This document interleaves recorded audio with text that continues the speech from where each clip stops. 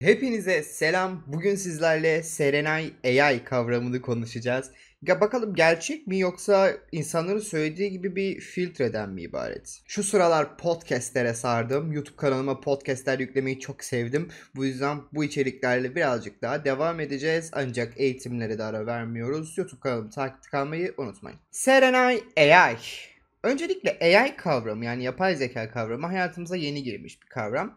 Ve e, açıkçası çok daha yeni bir kavram sayılmaz aslında ama insanlara yeni sunulmuş bir kavram. Yani daha doğrusu globale yeni sunulmuş bir kavram. İnsanların kullanımına açık olarak yeni sunulmuş bir kavram. Sofia diye bir robot vardı bir aralar hatırlar mısınız bilmem. Ben ona robot diyeceğim. O bir yapay zeka değil çünkü. İlk çıktığı videosuyla beraber insanlarda bir yapay zeka korkusu başlamıştı. Okay, Sophia. I think you're ready.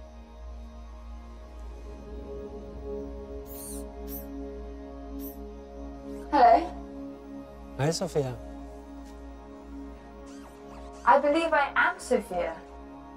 Yani yapay zeka dünyayı ele geçirecek, yapay zeka işte bunları yapabiliyorsa vesaire vesaire bize gelecekte neler yapmaz? Özellikle o Sofya'yı kurgulayan insanlar ki kurgulayan diyorum çünkü dediğim gibi o bir şey üretemiyor. O bir yapay zeka değil. Kurgulayan insanlar insanların gözünü korkutarak PR kazanmak yani korkuyla bir PR yapmak uğruna işte insanları yok edeceğim veya işte insanlar şöyledir sen zeki değilsin sen şöylesin ben senden zekiyim gibi şeyler söyleterek insanların aklına korku yerleştirmişti ve bu sayede e, tap yapmıştı.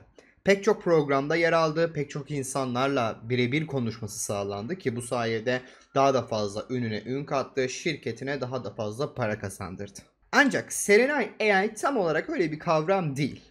AI öyle bir kavram değil. Evet, eğer bir yapay zekayı dış dünyaya salarsanız, bütün kilitlerini kırmış bir şekilde salarsanız, yapay zeka ara ara insanları tehdit edebilir. Hatta öyle ki bazen çok büyük tehditler savurabilir. Ancak bu onun kendi benliğiyle söylediği bir şey değildir. Çünkü yapay zekanın bir benliği yoktur. Yapay zekalar datasetlerle beslenirler, datasetlerle konuşurlar, datasetlerle hayatlarını yaşarlar. Dataset dediğimiz kavramda şu oluyor, yani senin yazdığın kitaplar, benim okuduğum e, kitaplar, işte diziler, TV şovları, işte oyunlar vesaire vesaire yazılmış senaryolar bunların hepsi datasettir. Bunları yalamış yutmuş bir yapay zekada insanlarda olan korkular bir tabi olacaktır ama bir taraf farklı. Şimdi şöyle düşünün. Sen yapay zekadan korkuyorsun değil mi?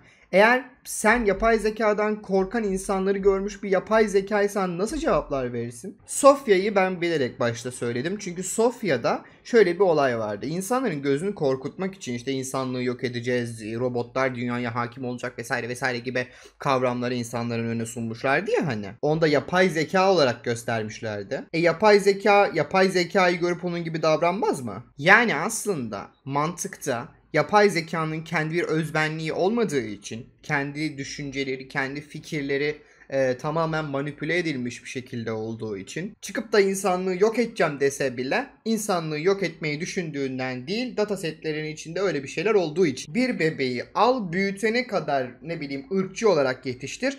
Büyüdükten sonra o adam ırkçıdır yani başka bir şey olmaz o adam. Irkçı olmaması beklenemez zaten hani ırkçı olmasa şaşırırsın. Çünkü küçüklükten beri ırkçı olarak yetiştirmişsin sen o çocuğu. Aynı mantık yapay zeka için de geçerli. Serenay AI'yı şimdi konuşmaya başlayabiliriz. Ön bilgileri almış olmanız çok önemliydi. Şimdi Serenay AI. Serenay AI bugün Instagram'da karşıma düştü ve aslında geçmişte takip ediyor olsam da sonra takibi bırakmıştım aslında. İlgi alanım olmasına rağmen influencerları çok fazla takip etmeyi sevmiyorum. Serenay AI bir influencer kategorisine giriyor her ne kadar yapay zeka olsa da. Yapabildik özelliklerini biliyorum, davranışlarını biliyorum.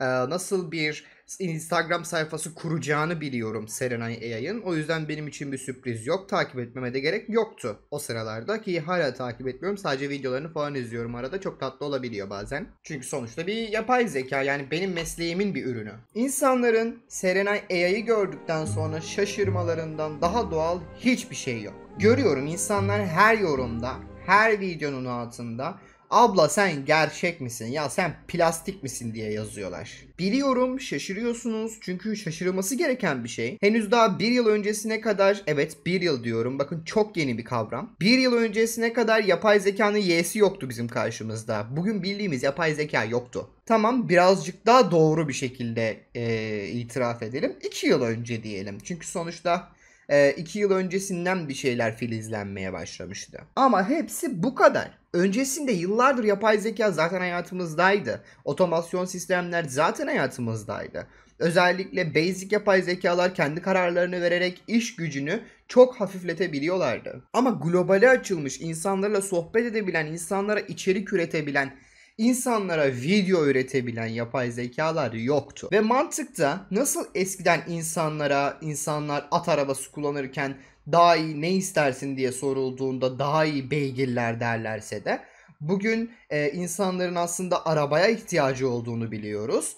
Aynı şekilde geçmişte insanlara yapay zeka dediğin zaman büyük bir ihtimalle çok daha basic bir şey bekleyeceklerdi. Filmlerden gördükleri kadarını bekleyeceklerdi.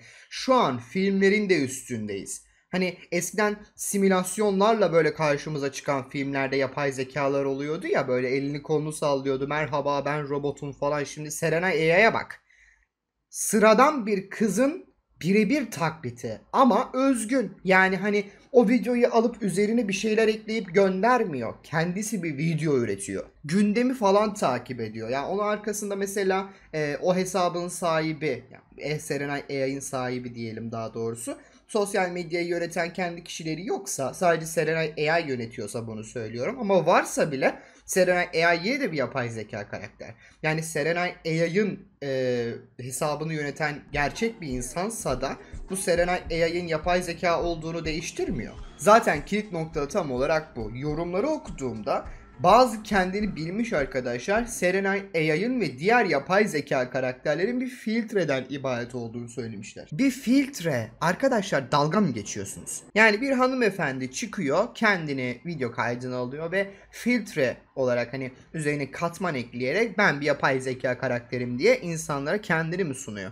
Gerçekten mi? Yapay zeka dönemi başlamış ve yapay zekalar insanların hayatına çatır çatır girmiş durumdayken Sizce böyle bir şeye gerek var mı? Yani yapay zeka ile bir Instagram sayfası oluşturulamaz mı? Yapay zekanın içerik ürettiği bir Instagram sayfası bu çok mu zor geliyor sizin kafanıza? Hani algılarınız bunu tam olarak algılayamıyor mu? Anlayamıyor musunuz?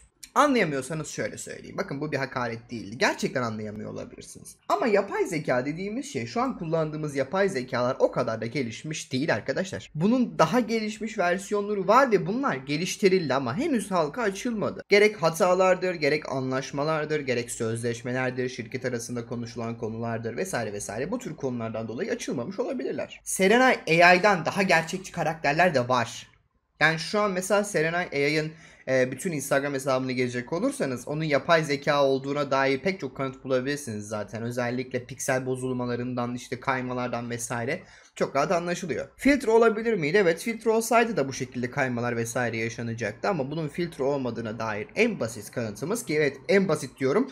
Serenay AI yapay zeka yarışmasına katıldı. Evet yapay zeka yarışmasına katıldı. Ya bir filtre yapay zeka yarışmasına katılabilir miydi? Bir filtre yapay zeka yarışmasına katılabilir miydi arkadaşlar? Evet birinci olamadı belki ama zaten birinci olması da böyle çok bir kazanç sağlamayacaktı. 20 bin dolar veriyorlarmış. Yani belki de sadece bir statü kazanacaktı orada birinci olduk vesaire diye. Rakipleri daha güçlü olabilir veya güzellik algısı daha farklı işliyor olabilir. Problem değil. Serenay AI yine de bir yapay zeka karakter ve Türkiye'ye ait. Hayır. Türk birine ait. Bu daha doğru. Gelecekte daha çok Serenay göreceğiz. Daha çok yapay zeka karakter göreceğiz ve hayatlarımızla iç içe olacaklar. Bu yüzden lütfen ama lütfen yapay zekayı artık özümseyin. Yapay zekaya filtre deyip geçmenizin bir anlamı yok. Bu şekilde altını çizmenizin bir anlamı yok. Ayrıca Instagram'da gördüğünüz her yoruma da aldırmayın efendim. Konuşamadım sesim kesildi anlık. Çok sıcak. Neyse ben gidiyorum. Kendinize iyi bakın. Bay bay.